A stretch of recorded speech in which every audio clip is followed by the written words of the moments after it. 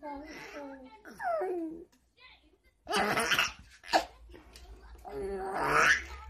second occasion was between the afternoon of the 14th of December and the morning of the 16th of December.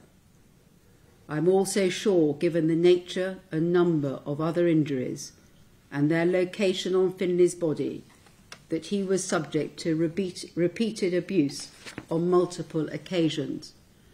Once the injuries had been inflicted, Finley's daily experience was one of considerable pain, distress, and suffering. You both knew that Finley was very seriously ill and dying as a result of what you had done to him.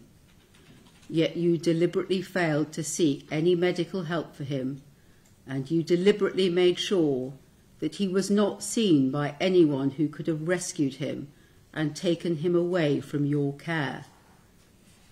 Medical intervention would have saved Finley's life, and if Finley had been given antibiotics and the necessary care in the minutes and hours before he died, he would have made a complete recovery.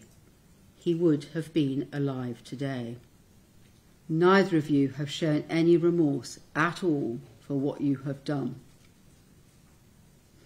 Weighing up these factors, the minimum term in your case, Stephen Boden, will be 29 years.